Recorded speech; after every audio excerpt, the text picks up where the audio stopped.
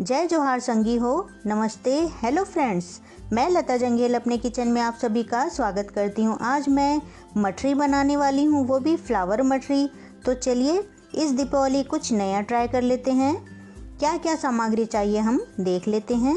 250 ग्राम मैदा ले ली हूँ, ये देखिए। पानी ले ली हूँ, नमक ले ली हूँ, तलने और मुअन के लिए तेल ले ली हूँ। अब सबसे पहले एक बाउल में मैदा को डाल देंगे। अब इसमें तीन चम्मच तेल डाल देंगे मोहन के लिए। मोहन डालना बहुत ही ज़रूरी है। मोहन डालना बहुत ही ज़रूरी है क्योंकि हमें क्रंची चाहिए, इसलिए मोहन डालना बहुत ज़रूरी है। देखिए, इसे अच्छे से मिक्स करना है। ये देखिए, ऐसे बन जाना चाहिए, बिल्कुल। ये देखिए, ये बिल्कुल परफेक्ट है। अब इसमें हम स्वाद के अनुसार नमक डाल देंगे और अच्छे से मिक्स कर देंगे।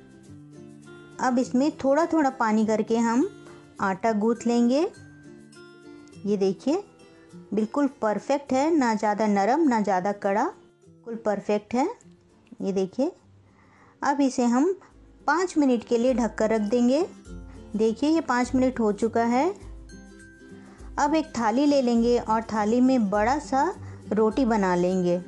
ये देखिए गोल गोल करके हम इसे हम बेल लेंगे अच्छे से। बहुत ही पतला बेलना है। हमें अगर क्रंची चाहिए तो बिल्कुल पतला बेलना बहुत ज़रूरी है। ये देखिए, मैं बहुत ही पतला बेली हूँ। ये देखिए, मैं आपको दिखाती हूँ इतना पतला बेलना है। मैं यहाँ पे छोटा सा गिलास ले ली हूँ। आप कटोरी या ढक्कन भी ले सकते हैं और ये देखिए, इसे छोटा छोटा हम काट लेंगे। छोटी छोटी पूरियाँ बना लेंगे। ये देखिए और एक्स्ट्रा को हम निकाल लेंगे। बाद में यूज़ कर लेंगे। अब मैं सूखा मैदा ले लूँगी और पूरा इसमें डस्ट कर लूँगी।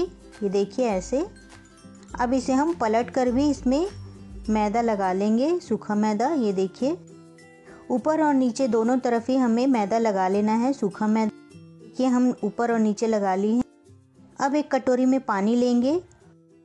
पानी की एक लकीर बना लेंगे, ये देखिए, और उसी के ऊपर दूसरी पूरी रख लेंगे। और उसमें भी पानी की लकीर बनाएँगे। ऐसे ऐसे हम छः लेयर हम बना लेंगे, ये देखिए। बिल्कुल सेंटर में हमें पानी की लकीर बनाना है और हमें ऐसे रख लेना है। यहाँ पर छः पूरियाँ रखी हूँ, आप ज़्यादा कम या ज़्यादा कर सकते हैं। मैं यहाँ पे एक लकड़ी का चम्मच ले ली हूँ, ये देखिए। अब बीचों बीच जहाँ पर हम पानी लगाए हैं, वहाँ पर हम थोड़ा सा प्रेशर देंगे, हल्का प्रेशर ये देखिए। ताकि ये सभी एक आपस में चिपक जाए। ये देखिए, बिल्कुल अलग अलग लेयर बन चुका है। सभी को हम बना लेंगे। यहाँ पर मैं गैस ऑन करके कढ़ाई चढ़ा दी हूँ। उसमें तलने के लिए तेल डाल दी हूँ। अब तेल को हल्का गर्म होने देते हैं। अब इसमें हम फ्लावर मटरी को डाल देंगे। ध्यान रहे कि यहाँ पर हमें लो फ्लेम ही रखना है। हमें लो फ्लेम में ही सारी मटरियों को तलना है। ये देखिए, हमें लेयर को खोलना है। बहुत ही आसानी से ये लेयर खुल जाती है। ये देखिए, बस थोड़ा सा बस हमें प्रयास करना रहता है, फिर ये अपने आप खुल जाता है लेयर अब हम दूसरी मटरी को डाल देंगे। ये देखिए, बहुत ही आसानी से ये खुल जाता है। सभी मटरियों को ऐसे ही हमें तलना है। लो फ्लेम में ही हमें तलना है और थोड़ा सा हमें इस लेयर को खोलते रहना है। ये देखिए ये बहुत ही अच्छे से ये बन जाता है और बहुत आसानी से बनता है। ये देखिए। सभी मटरियों को ऐसे ही डालते रहना है और लेयर को खोल देना है। ये देखिए, लेयर खोलने के बाद फिर दूसरा मटरी डाल देंगे। ये देखिए।